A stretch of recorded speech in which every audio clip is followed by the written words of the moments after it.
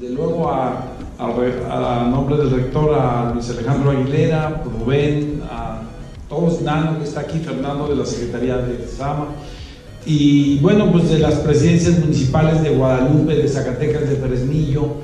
Eh, para nosotros es muy importante este tema que debería de ser transversal a todas las áreas de la administración pública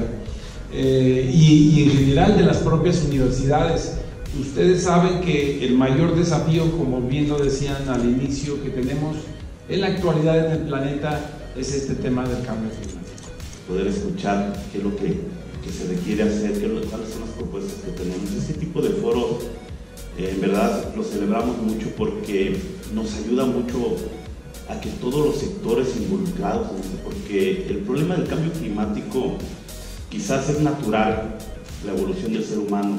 que vaya cambiando las situaciones, su relación con el medio ambiente, pero nosotros lo estamos acelerando, nosotros mismos, los seres humanos, somos los que nos estamos encargando de acelerar esa evolución. Y desde luego es importante reconocer eh, la convocatoria este, que para este evento ha realizado el maestro Manuel Macías Patiño, porque aborda un tema que no solamente tiene que ser del interés de las autoridades, sino que tiene que ser un tema transversal en la educación de nuestros estudiantes y que afortunadamente hoy, este día, este, los vemos aquí reunidos con el interés que siempre despierta su juventud y que desde luego en un tema que es un tema de futuros, es un tema de presente que hay que abordarse en el presente y que posteriormente pues quienes van a disfrutar de este planeta o quienes van a terminar con él pues serían, serían nuestros jóvenes